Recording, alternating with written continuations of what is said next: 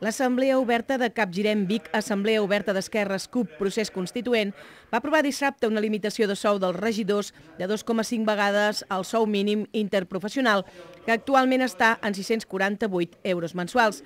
Per tant, el límit de sou que percebran els regidors de Capgirem Vic que tinguin dedicació completa a l'Ajuntament, en el cas d'arribar a governar, serà de 1.621 euros mensuals nets per 14 pagues.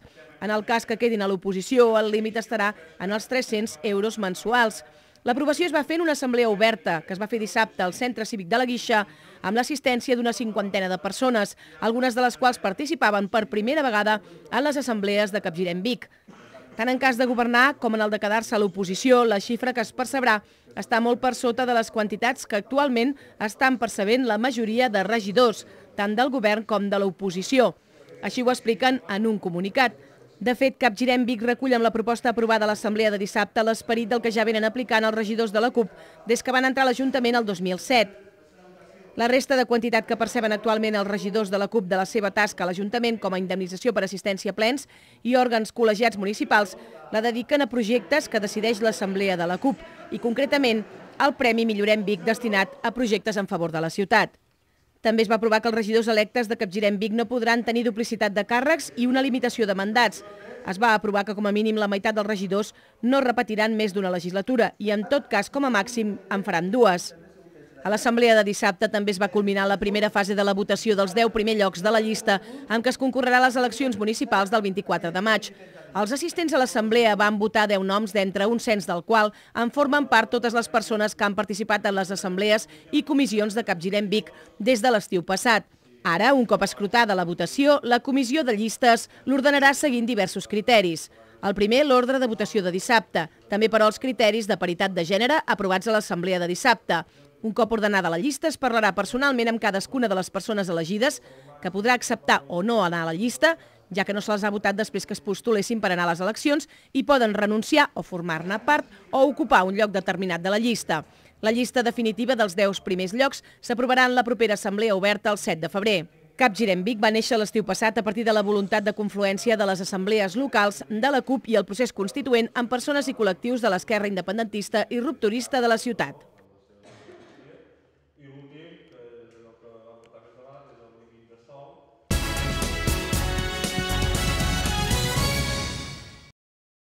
Dijous passat es va celebrar l'Assemblea de Militants de l'agrupació de Vic, on Benjamí Dòniga va sortir escollit per unanimitat alcaldable socialista a Vic per a les properes eleccions municipals del maig. Dòniga és funcionari de carrera del cos de bombers i advocat.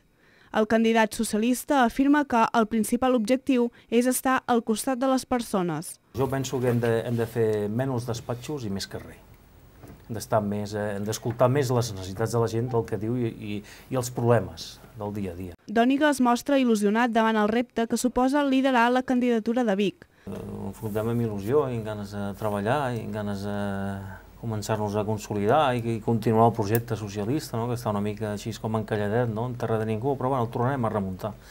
Home, aspirem a l'alcaldia, això, això per, per, per suposat, vull dir, ja sortim, sortim a guanyar, dir, però, això, però això depèn de l'electorat, no? L'electorat ja saps que en unes municipals el poble confia molt en la persona i aquests quadres o arts parlamentaris que es poden esdevenir en unes autonòmiques o generals eh, difereixen molt, no? vull dir, o poden diferir molt, vull dir, això...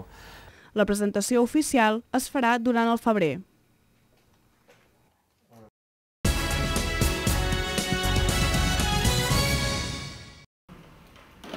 El jutjat d'institució número 2 de Vic ha confirmat amb data 26 de gener la imputació de la cúpula de Plataforma per Catalunya en una conxorxa per atemptar contra el fundador i president històric del partit, Josep Anglada i Rius. Segons el comunicat, el jutge ordena l'establiment de mesures cautelars d'allunyament en benefici d'Anglada, les quals limitaran els moviments dels acusats Roberto Hernando, Juan Carlos Fuentes i Ignacio Mulleres a 200 metres de la víctima.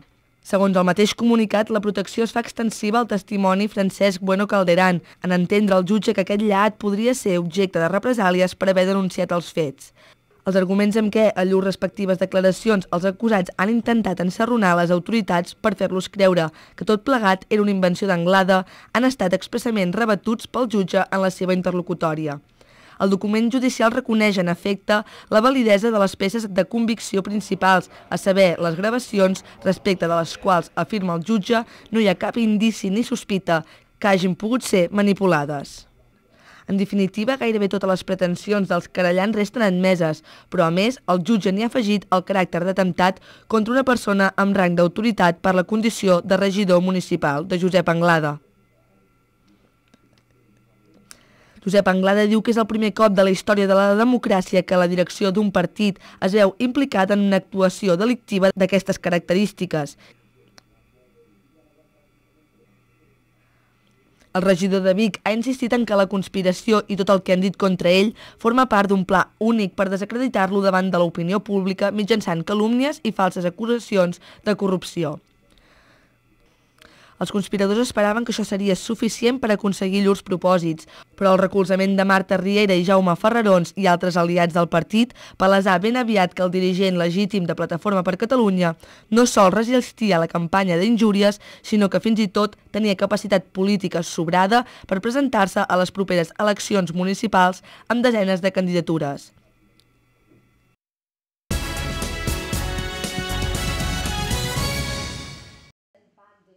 Dilluns a la tarda es va fer la recepció oficial a l'Ajuntament de Vic als estudiants internacionals de la Universitat de Vic, Universitat Central de Catalunya. Aquesta universitat rep un total de 66 estudiants que provenen d'universitats d'Alemanya, Andorra, Brasil, el Canadà, Dinamarca, Estats Units, Finlàndia, França, Gran Bretanya, Itàlia, Corea, Mèxic, els Països Baixos, Polònia, Portugal, la República Txeca, Turquia i Xile. L'acte va comptar amb la presència del regidor de joves Xavier Ferrés, que els va aconsellar que visquin Vic i que tenen a la seva disposició tant l'oficina de turisme com el Vic Jove per tal que puguin trobar tots aquells serveis que necessitin. El regidor, durant la seva intervenció, els va explicar que Vic és capital de la Catalunya interior i sempre ha defensat la identitat del país amb la seva llengua, cultura i tradicions. Vic és una ciutat que combina història, tradició i modernitat, va afegir. Finalment, el regidor va afirmar que Vic aposta per la convivència i el civisme i en aquest sentit els va informar d'una campanya engegada el passat mes de desembre que se centra en aquest sentit i que porta per nom We Are Civic Minded. Xavier Ferrés va acabar el seu discurs defensant el paper que juga la Universitat de Vic, Universitat Central de Catalunya, que aposta pel coneixement, la innovació i la recerca. Una vegada acabat l'acte institucional, els estudiants van visitar la casa consistorial. Tot seguit, van baixar fins a l'oficina de turisme per iniciar una visita guiada al centre històric de la ciutat i, finalment, van visitar el Vic Jove. Aquest acte es fa cada any per tal que tots els estudiants coneguin tots els serveis que s'ofereixen des de l'Ajuntament de Vic a partir de l'oficina del Vic Jove.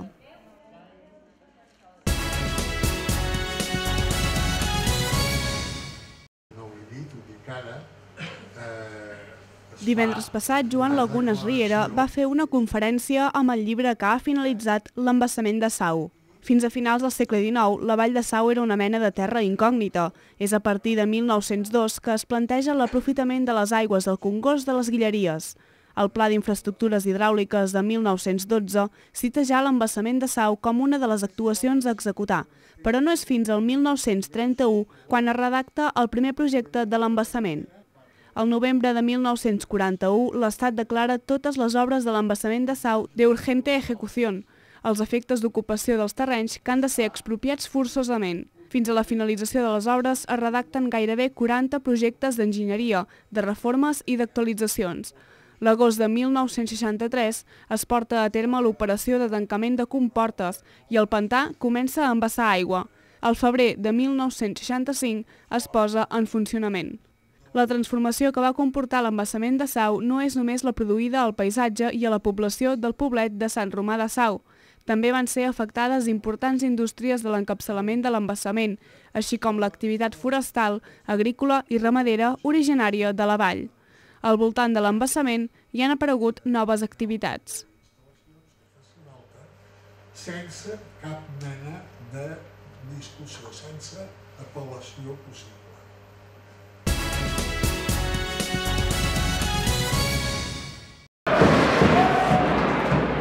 Patí Vic va guanyar aquest dimarts al Mataró amb molt esforç, un partit difícil després del viatge a Suïssa i en un partit vital per l'equip del Maresme en les seves aspiracions per mantenir la categoria. De fet, el conjunt dirigit per l'exporter Joan Carles Badillo va ser el que va crear més ocasions de gol dins els primers minuts. Aquesta dinàmica va permetre al porter Carles Grau realitzar unes molt bones aturades.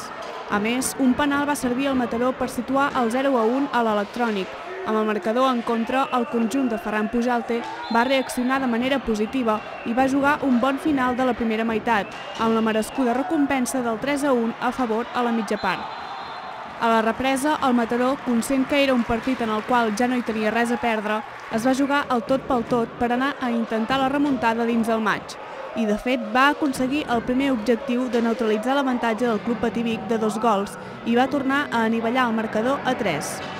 El Club Pativic, però, va tornar a mostrar-se com un conjunt que sap jugar en situacions compromeses i es va tornar a situar per davant per la mínima diferència de 4 a 3.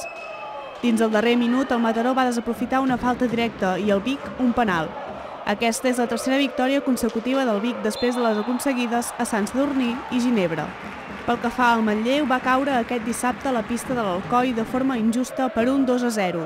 L'equip ho va intentar de totes les maneres possibles. Van tenir diferents ocasions clares de gol, però cap amb el suficient encert per poder emportar-se el partit.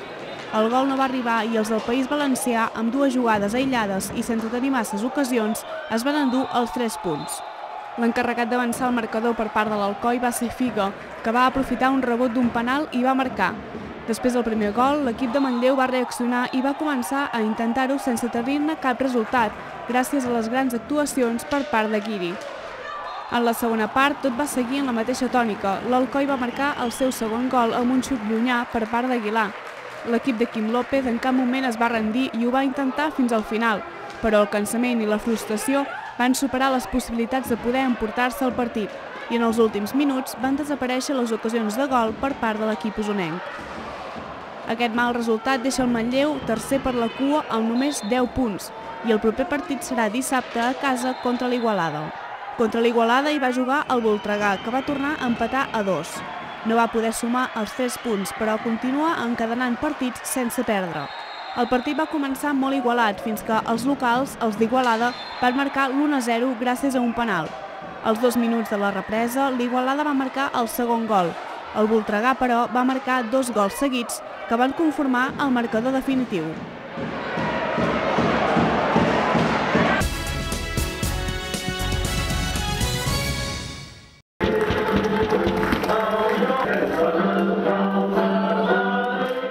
Vic de futbol a la primera catalana està passant darrerament unes setmanes dolentes. Continua sumant partits perduts i aquest cap de setmana en què es va estrenar el nou camp de futbol no va ser menys. El Vic va perdre contra el Manresa per la mínima, amb un resultat de 0 a 1. Tot i que el Vic va treballar molt al partit i va lluitar fins al final, es va quedar sense poder marcar. Els biguetans van portar tota l'estona al control del partit, però finalment va ser el Manresa el que va aconseguir marcar. Tot i algunes magnífiques jugades que podien haver culminat en gol, no hi va haver-hi sort. A part, el Manresa, amb un gol a favor, va saber fer una tasca defensiva molt important. Esperem que ben aviat el Vic es refaci i comenci a sumar punts a la classificació.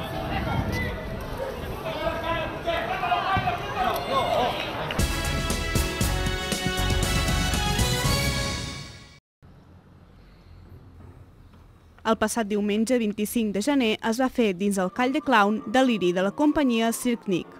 L'única cosa que necessita és una cadira. I a un espectacle que només li falta una cadira. No pot ser un gran espectacle, però és clar, si la cadira fa 4 metres i pel mig hi ha Nick, la cosa ja canvia. Doncs Deliri és això, un espectacle fet amb una cadira de 4 metres, íntim i pròxim, en què un pallasso ens porta a fer un viatge pel seu món més singular, on tot és possible i tot està per fer a través dels seus petits deliris quotidians, en forma de circ, ens farà partícips de la seva bogeria particular i ens dibuixarà a la cara un somriure que ens costarà d'esborrar. Nick, Miquel Uller, és un pallasso de poques paraules sense saber massa com es troba davant d'un públic que sembla que esperi alguna cosa més. És així com amb quatre trastos i amb l'ajuda esporàdica d'algun voluntari es va desenvolupant l'espectacle. Sense parlar, es construeix un perfecte diàleg entre Nick i el públic, és l'art del silenci i l'essència del pallasso. El proper diumenge 1 de febrer es farà l'espectacle familiar Naïf de Toti Turonell. Serà a dos quarts de sis de la tarda.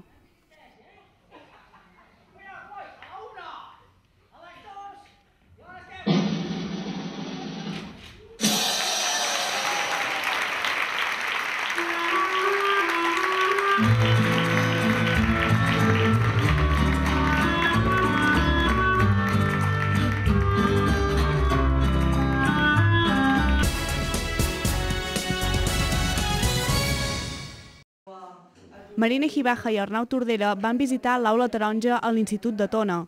La Marina Gibaja ha fet del patinatge artístic la seva gran passió. Patina des dels 5 anys. Va començar en la categoria individual, però dels 9 als 19 anys va competir en grup show. Més tard es va decantar per la modalitat en parella. Ha competit a Catalunya, Espanya i Europa i l'any passat a la Copa del Món disputada a Reus. L'any passat precisament va ser sisena d'Europa i desena del món, Ara comença una nova etapa esportiva en la categoria de solo dance. De moment entrena de cara al 2017 com a mínim 3 dies a la setmana. Competirà amb el Club Patí Parets. Està estudiant Publicitat i Relacions Públiques. També fa d'entrenadora al Club Patí Manlleu. Està molt orgullosa dels resultats de les seves patinadores. Està molt agraïda a l'Ajuntament de Tona, a la Generalitat i altres sponsors que l'ajuden a poder competir, perquè el seu és un esport molt car especialment pel que fa als materials necessaris. Per a ella és un orgull haver començat el Club Petitona i veure el munt de bones patinadores que hi han sorgit. Arnau Tordera té 28 anys i és de Tona. Està molt orgullós de ser del poble. Es dedica a crear i escriure música. Toca la guitarra i canta. Va començar a tocar gràcies a una activitat extraescolar a l'era de dalt, des de petit ja creava un munt de coses pròpies. Li agradaven les bandes dels 70, tal com Led Zeppelin, Deep Purple o Queen. Va fer el batxillerat tecnològic i la carrera de filosofia. Va estudiar música amb insistència i disciplina al taller de músics a Barcelona i a l'ESMUC.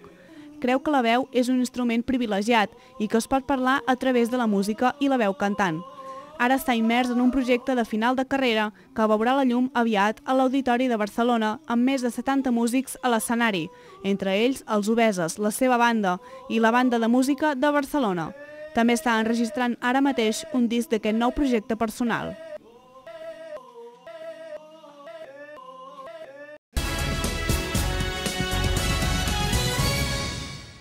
Al Bars de Barcelona hi trobem un petit príncep que tots coneixem, una història explicada com mai havia sentit i vist.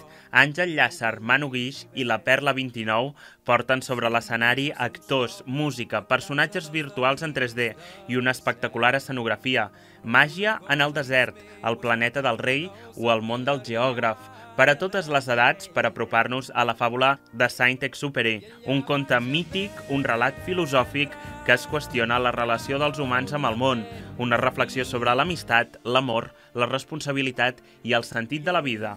El petit príncep.